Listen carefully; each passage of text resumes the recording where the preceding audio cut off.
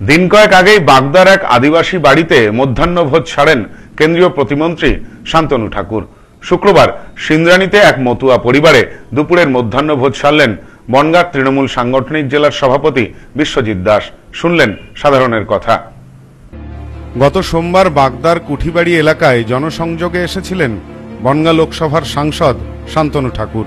আদিবাসী পাড়ায় এক আদিবাসী পরিবারের আমন্ত্রণে মধ্যাহ্নভোজে অংশ নেন কেন্দ্রীয় প্রতিমন্ত্রী।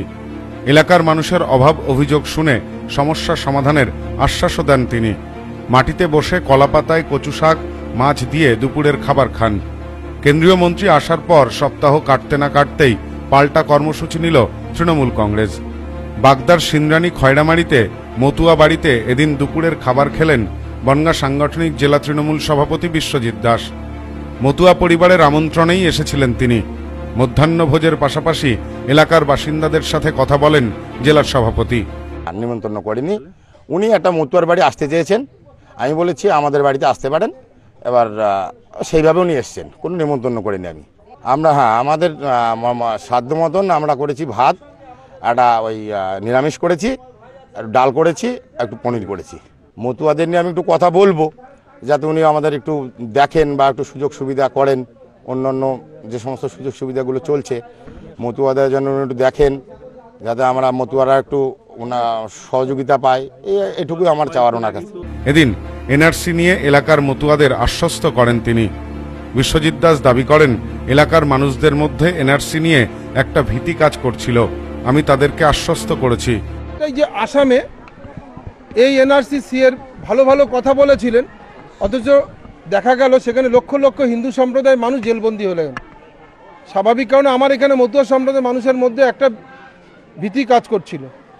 আমি তো মাঝে মাঝেই আমার এলাকায় ঘুরি, তেমনিভাবেই এখানে আমার মতুয়া সম্প্রদায়ের মানুষের সাথে সেইটাই বুঝাতে এসেছিলাম যে আপনাদের ভয় পাবার কিছু নেই, মাথার উপরে মুখ্যমন্ত্রী আছেন। আর আপনারা যারা ভোট দিচ্ছি, দিয়েছেন, আপনারা যাতে আমাদের মতো মানুষ নির্বাচন করে পাট বিধায়ক করেছেন, সাংসদ করেছেন, অতএব আমরা বৈধ, আপনারা অবৈধ, এটা হতে পারে না।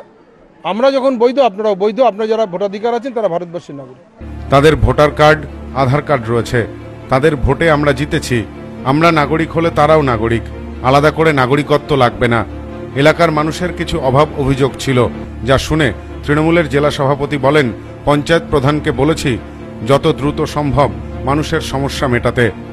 কিছু কিছু জায়গায় আমরা অনেক কাজ করেছি। কয়েকটা কাজ বাকি আছে রাস্তায় ইলেকট্রিকের। আমি প্রধানকে ডেকে বলে দিয়েছি। ও এক সপ্তাহের মধ্যে পোস্টে পোস্টে লাইটের ব্যবস্থা করে দেবে। রাস্তাঘাট একটা রাস্তা দুটো রাস্তা পাওয়া গেছে।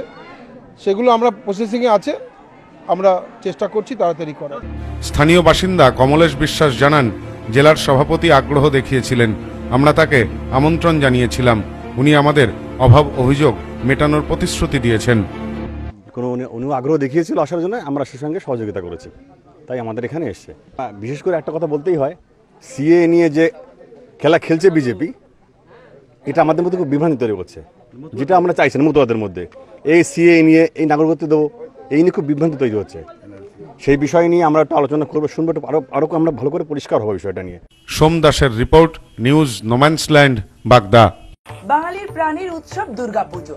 নতুন নতুন কালেকশন নিয়ে আদি মোহিনী মোহন কান্দিলাল, এবার তোমার শহর বনগা, শিমুলতলার মোড় যশোর রোড সবাইকে জানাই সাদর আমন্ত্রণ।